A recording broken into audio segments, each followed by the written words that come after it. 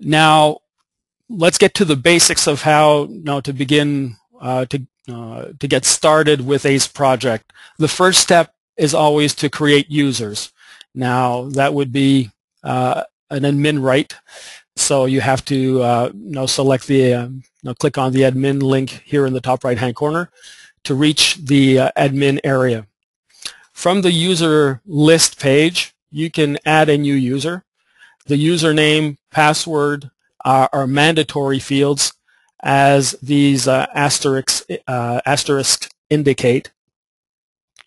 Uh, so you'll want to you know, uh, specify a username, the password, the email address that is to be used, uh, and essentially you know, the address that you'll specify here is where all email notifications will be sent to. Uh, you have an access rights area where you can set up the where you'll determine whether you want to set up the user as an admin or a normal user. In terms of access rights in AceProject, uh, it's a two-tier system. The first tier is the user level, where you must specify whether the user is an admin or a normal user. If you set up a user as an administrator, he or she will have access to the entire information in the account. If you set up a normal uh, a user as a normal user, he or she will only be able to access assigned projects. A and then the second tier uh, will come into effect. Uh, on each of those assigned projects, you can then specify you know, uh, some project level rights for the user. You also have three optional user level options for the user. Uh, you will determine here whether the user can create projects, uh, whether you want the user to have the portfolio tab uh, for a cross-project reporting, uh, whether or not the user will be able to see financial data. In the email notifications area, by default, when you, you create a, a new user, all four of these email notifications should be turned on uh, you know, the user might or might not have uh, the permission that will be whether you want to, to allow the user to uh, to opt in or out uh, of email notifications through this option right here. But know, you'll decide as an admin whether uh, you want to force email notifications to be sent to the user uh, or if you would rather have the user choose for himself or herself if these email notifications are necessary. So that's essentially, essentially the first step in getting started with AceProject. You need to set up your users. The next step would be to create projects. There are two areas uh, in the interface where you may do so. One of them would be the portfolio, the default page that appears when you select the portfolio uh, tab. So you have the add a project button right there. The other would be under My Office uh, Projects, Assigned Projects. So let's uh, click on Add a Project right now. Now, when you create a project, there are the first choice you'll need to, now the first thing you'll need to choose is whether you want to create a, a project from scratch or whether you want to use an existing project as your template.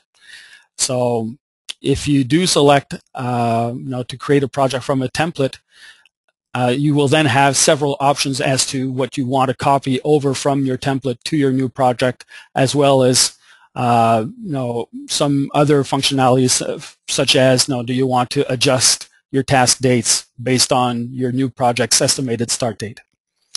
You will, you will need to specify the project number. As I mentioned uh, earlier, this is an alphanumeric field the project name. Description is not mandatory, but of course you might want to do that. Um, and you have quite a you know, few other options uh, here which are perhaps not uh, essential at this time. Once you're done filling out uh, this page,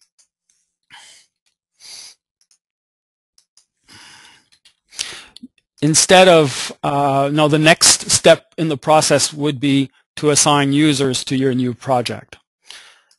So let's do that right now. Instead of clicking on Save, I'll click on uh, this uh, downwards pointing arrow button just next to the Save button and select Save and Assign Users. As the project creator, Jane is automatically assigned to the new project. Now, if you want to assign other users to the project, you'll click on the Assign a New User link, and you will then see all remaining users in the account uh, listed by user group. So support agent, technician, research and development are user groups, and that is how the users are grouped. You can then select one or several users in the list and assign them project level rights. The project level rights are the ones that you see right here. Project managers will have the ability to do whatever they please against their project except deleting it. Deleting a project uh, can only be performed by an administrator. You may or may not want to grant the user or users, selected users in this case, time approval or expense approval rights on the project. They can open this project right. If you grant that right, the user will be able to see, uh, you know, to essentially open the project and see a project tab. Now remember that whenever you can open a project and, and see a project tab, that also gives you automatically access to all left menu items associated with the project tab, meaning that the user or selected users will have access to incomplete tasks, to uh, completed tasks, therefore we'll be able to see uh, the entire list of tasks in the, in the project. Whereas if you do not grant this right, the selected users will only have access to their assigned tasks and created tasks under My Office, My Tasks, for instance. Finally, there's the edit task level uh, that now where you have uh, options from A1 to D2. Uh, this icon right here will lead you to a chart which shows specifically for each of these uh, edit task levels what a user can or cannot do uh, on tasks. For instance, whether a user can uh, can enter comments, can assign you know, tasks to someone else. And there are two factors which determine what specifically a user can or cannot do against tasks in a project. The first one is the edit task level, and the second is the relationship of the user to a task. There are three possible relationships. The user can be the creator of a task, the user can be only assigned uh, as an assigned user or reviewer on a task. Uh, and finally, the user can be neither, meaning that the user is assigned to the related project, but not is not the task creator and is not uh, assigned to the task. So once you've assigned your users to the project, now we've just added the two new users and we now have three users assigned to the test project. The next step would be to create tasks uh, in that project. So what I will do is I will open the project that I have just created and I will click on add a task. The incomplete tasks page is the default page that will appear when you open a project either by selecting it from this drop down or by clicking uh, on a project tab. As you may see, when you create a new task, the task number field is automatically populated by AceProject. The, the, the, uh, the task number field is a numeric field, uh, unlike the project number field. Uh, you will also want to specify the summary, which is essentially you know, the task name. Uh, you have a details field where you may specify further information uh, further details in regards to the task. You may even set up a hyperlink uh, in this field. And you then will probably want to assign one or several users uh, to this task. Now, I will open up the assignment area. By the way, uh, you might uh, know some clients need to use each of these uh, sections. Uh, some other clients might not uh, you know, find any use for some of these sections. So you can actually hide sections for altogether. For instance, if I uncheck the actuals uh, section right here, you'll notice that it has disappeared from the form. So know, in AceProject forms, you'll have the ability to you know, remove sections altogether or close them out. Uh, through the toggle links. Now, in the task assignment grid, as you may see, uh, I see three individuals who are currently available for assignment on task number one. These three individuals are the users that were previously assigned to the associated project, to the test project.